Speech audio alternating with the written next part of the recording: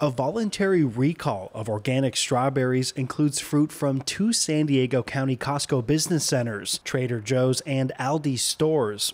CDC investigators say at least seven hepatitis A cases in California and Washington state are likely linked to frozen strawberries from farms in Baja California.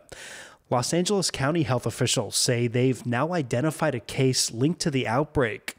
Last month, the federal investigation prompted Otay Mesa fruit distributor California Splendor to recall frozen organic strawberries from Costco's, including two business centers in Kearny Mesa and San Marcos. A food distributor in Oregon also recalled strawberries, which were sent to Trader Joe's and Aldi stores in California.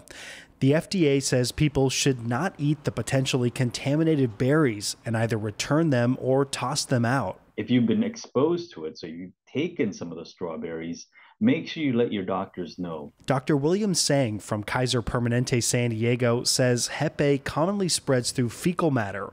He says if someone is exposed and becomes infected, they might start seeing symptoms a few weeks later. Sudden abdominal pain, nausea, vomiting, uh, diarrhea. And then about four days after that, you start to notice your urine gets very, very, very dark.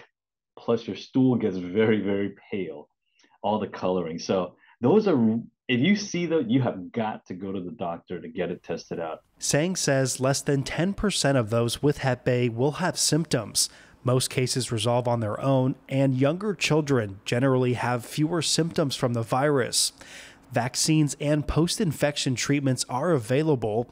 The FDA's website has specific images of the recalled frozen strawberry bags and details including specific expiration date and lot numbers.